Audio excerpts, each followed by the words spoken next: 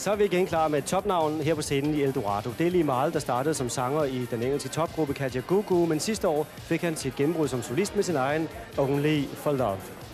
Nu skal han lancere temaet og tilmelodien fra en kommende eventyrfilm, der handler om en lille gut, der ved et tilfælde kommer ind i eventyrland, hvor han møder de mærkeligste både gode og onde fabeldyr, og i øvrigt kommer ud for lidt af hver.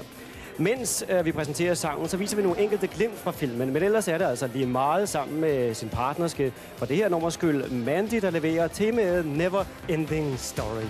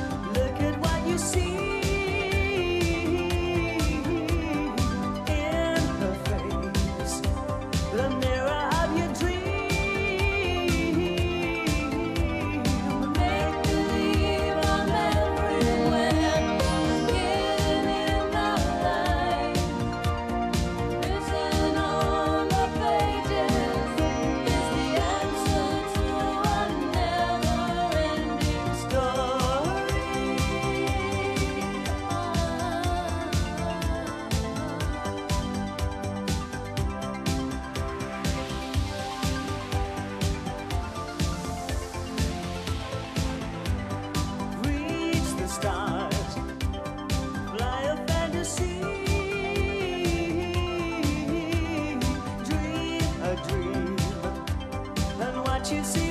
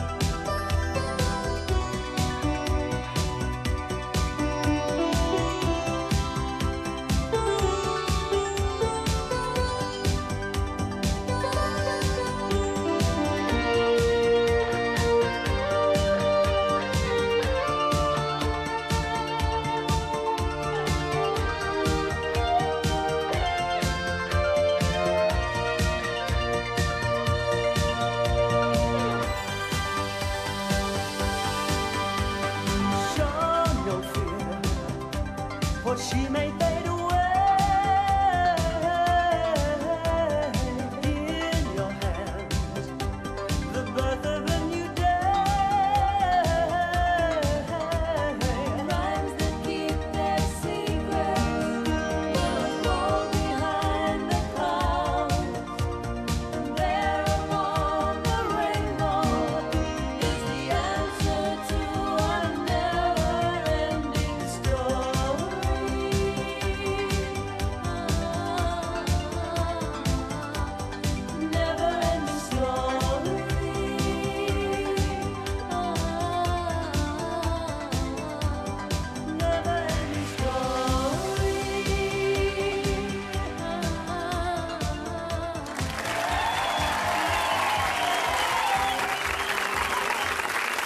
Det var Lemal og Mandy, der her sang temaet øh, fra en kommende film, Never Ending Story. Og den er så ny, så den øh, ikke engang er udsendt i England endnu. Så vi holdt altså en slags verdenspremiere på den her.